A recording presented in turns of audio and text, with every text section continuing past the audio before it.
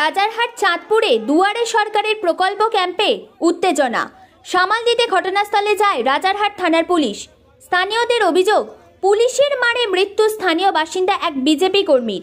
তারই প্রতিবাদে রাজারহাট থানা ঘেরাও করে বিক্ষোভ।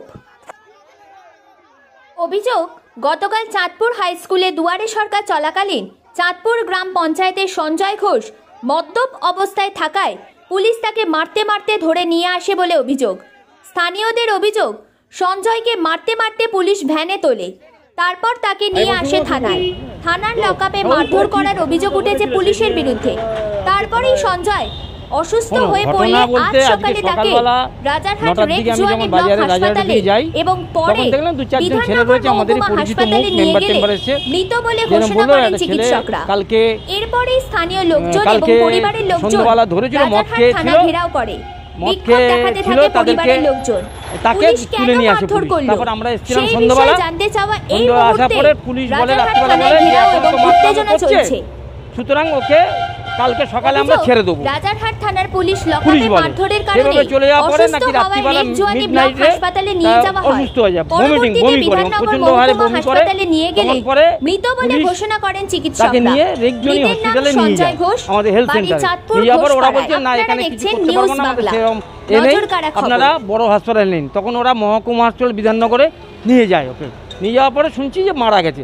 এখন পরিষ্কার করে দেখুন কালকে ধরলো মরলে এই খবর এবং আমি আইসির কাছে যাই, গিয়ে জানতে যাই, উনি একই রিপোর্ট আমাকে দিলেন যে আমরা ধরেছিল, কিন্তু এই মাতলামো করছিল, তা আনার পরে আমরা ছেড়ে দেবো বলেছিলাম, কিন্তু মাঝরাতে প্রচণ্ড হারে বমি করছে এবং পেটে পেন হচ্ছিল। যার জন্য আমরা পাঠাই রিক্স নিইনি পাঠাই রেকজনিতে রেকজনি আমাদের নেয়নি রেকজনি বলছে আপনারা বড় হাসপাতালে নেন।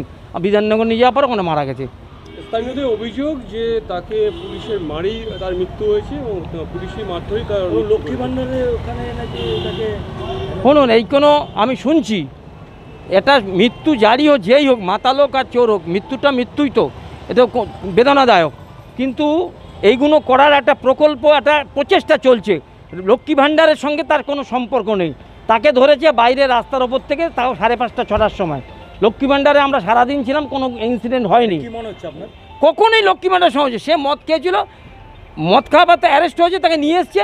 নিয়ে আসার পরে কি হয়েছে সেটা আমি তো বলতে পারব না। কি করছে? কারা? শুনুন এটা এটা এটা লক্ষ্মী ভাণ্ডার হয়ে গেছে সারা রাজ্য তথা দেশের একটা গাত্র দেওয়া হয়ে গেছে মানুষের কাছে। লক্ষ্মী গ্রহণ করে মানুষের মন যেভাবে হৃদয়ে জিতে দিচ্ছেন মমতা বন্দ্যোপাধ্যায় সেটা কারও কোনো রাজনৈতিক দলের সহ্য হচ্ছে না। বিশেষ করে বিজেপি সহ্য হচ্ছে না। তারা এই নোংরা খেলায় নেমেছে। আমার কথা প্রতিবাদ হতে পারে, আমার, আমারও দাবি।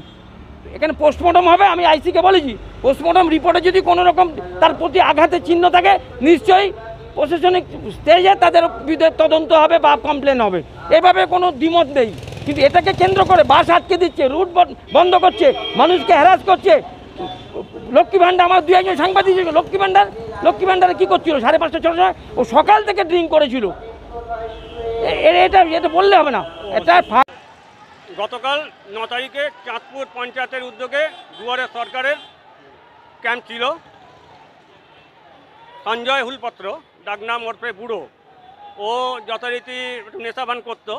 ওখানে নেশা করে হয়তো দু একটা অসংলগ্ন কথা বলেছিল।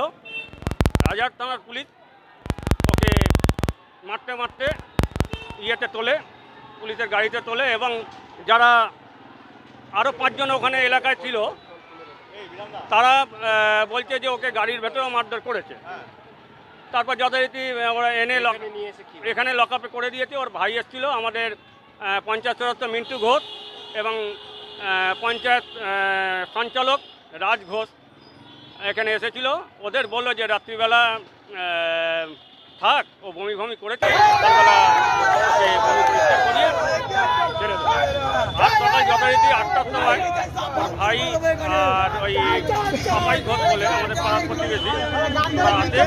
ওদের বলা হয় যে প্রবলেম হয়েছে, ওকে দেওয়া হয় তারপরে ওরা রেকজনি দিয়ে খবর পায় যে ইয়েতে বিধাননগর হসপিটালে আছে আর মারা গেছে।